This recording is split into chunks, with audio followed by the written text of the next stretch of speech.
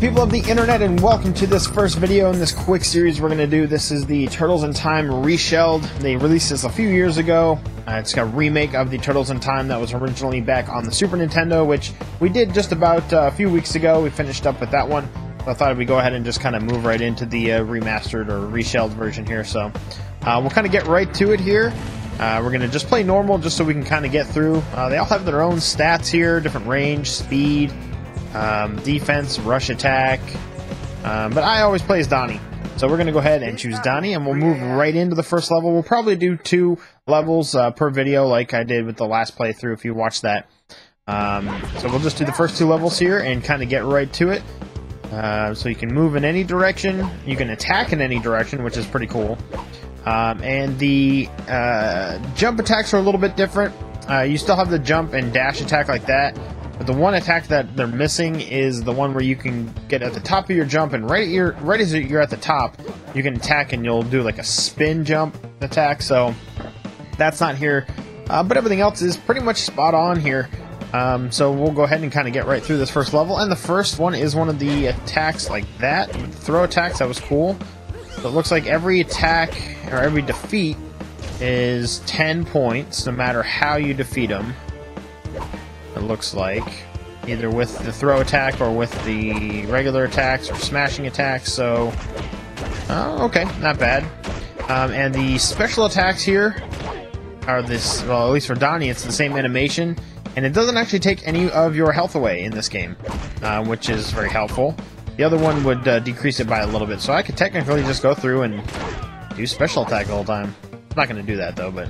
Oh, wait, I'm getting strangled. Jeez, I wasn't watching. and I do remember that some attacks were five as well. Um, I don't know what kind of attacks would give you five points, but I'll figure it out here. Let's blow those guys up. Oh no! Alright, so there was a five point uh, attack. I don't know what that was. Maybe from using an object in the uh, in the environment. Maybe I don't know.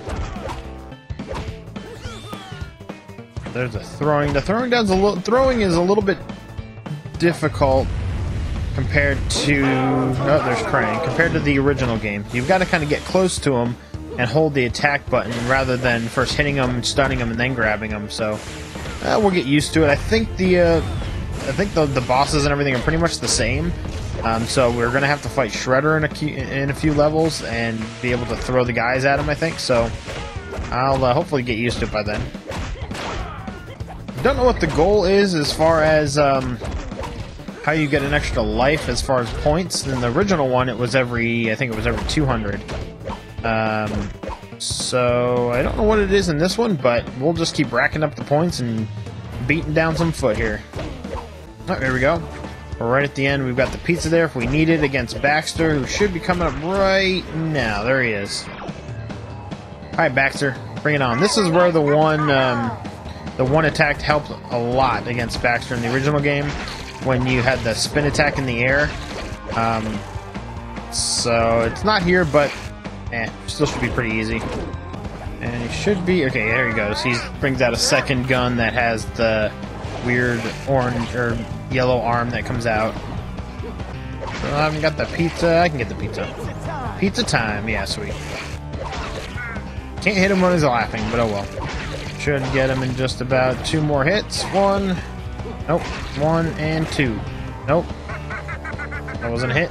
That is, though. Awesome. Down goes Baxter. We're done with number one. Sweet. And they've got a summary here. Score of 685. No deaths. That's pretty sweet. Alley Cat Blues. Alley Cat Blues. Moving on to the next with Metalhead. So yeah, I do like the the remake or the reshelled version here. Um, you know, it's it's very true to the original. It's got the same layouts as far as the uh, the, the levels go. The same enemies kind of seem to be about the same as well, and the animations are, are relatively the same as well as far as the um, the boss battles and uh, the turtles' special attacks and things like that. The the levels are a little bit more zoomed in than the original. The other ones seem to be out a little bit more, and you can kind of see a little bit more of each scene. Um, but it's not bad. Um, I, I, prefer the original, but um, it's really cool that they did decided to do a, a remake, a remastered version, or whatever. And Uh, the one thing I don't like is the, the music is a little bit different. Yeah, it's not spot on as far as the the same tracks. I think they kind of retooled them a little bit. Uh, some of them are, are very similar or even exactly the same, just with a you know a updated version. But meh, overall, I think it's a pretty sweet remake, and it's it is fun to play. It still has that beat 'em up action, but I, if I had to choose two, I would go with the original, just because I'm nostalgic like that. I think the foot needs to do a little bit more training um, because there's like almost eight or ten foot on screen one time, and they barely even hurt me. But I'm also playing on normal, which just to do it to have some fun and play through the game a little bit. Should have the spinning pizza, or the well, in this one, it's a spinning pizza. In the original one, it was like a little bomb thing, but this is the spinning pizza. Wait for all the guys, and we'll do the spinning pizza. Nice. That racked up some points there. Now looks like we're already up to Metalhead. That was uh, that was pretty quick, actually. Not that bad. Maybe we'll do a third. Maybe we'll do three levels per uh, per episode here. Maybe we'll just yeah. Well, I think we'll just keep it at two.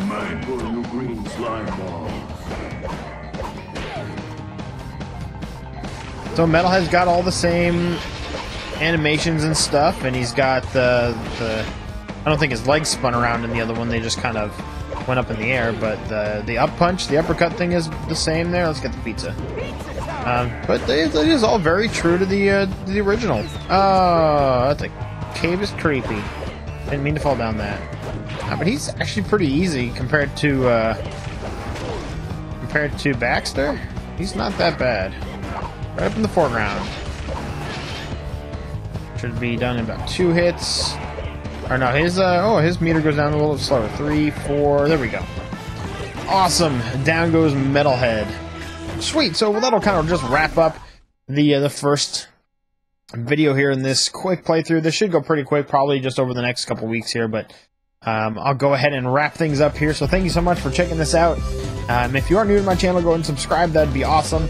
And if you like the video, if you like this playthrough here, leave a couple likes down below. That would be greatly appreciated. And um, if you have any ideas for games that you'd like to see, uh, let me know in the comments below. And if we've got them, we'll play, you know, play through a couple videos. I've got games going all the way back to the Atari days, so um, I won't really run out of things to play here. Um, but all in all, we'll just enjoy playing some games together. And uh, if you're interested in seeing the original playthrough of the Super Nintendo version, that's over uh, in the channel as well. The complete playthrough is there. But again, thanks so much for stopping by, and I will talk to you guys later. And as always, keep on gaming. Wonder what's next should be sewer surfing nice.